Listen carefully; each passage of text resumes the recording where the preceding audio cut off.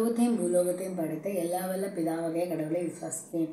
அவருடைய ஒரே குமாரன் நம்முடைய ஆண்டவராக இயேசு கிறிஸ்துவை விசுவாசிக்கிறேன். இவர் பரிசுத்தாவினால் கர்ப்பத்தில் உட்பவித்து கன்னி மரியாதை எடுத்து பிறந்து பொந்து பிளாத்துவின் கீழ் பாடுபட்டு சிலுவையில் அறியுண்டு மறித்து அடக்கம் செய்யப்பட்டார். பாதாளத்தில் இறங்கி மூன்றாம் நாள் மறித்தோர் இடத்திலிருந்து உயிர்த்தெழுந்தார். பரத்தை கேறி எல்லா வல்ல பிதாவாகிய கடவுளுடைய வலது பக்கத்தில் வீற்றிருக்கிறார். அவ்வே இடத்திலிருந்து உயிருள்ளோருக்கும் மறித்தோருக்கும் நியாயம் தீர்ப்பளிக்க வருவார். பரிசுத்தாவினை விசுவாசிக்கிறேன். பொதுவான பரிசுத்த கிறிஸ்துவ சபையும் சபைநாயக்கியமும் பாவம் மன்னிப்பும் சரீர உயிர்த்தெழுதலும் நித்திய ஜீவனும் உண்டு என்று விசுவாசிக்கிறேன். ஆமேன்.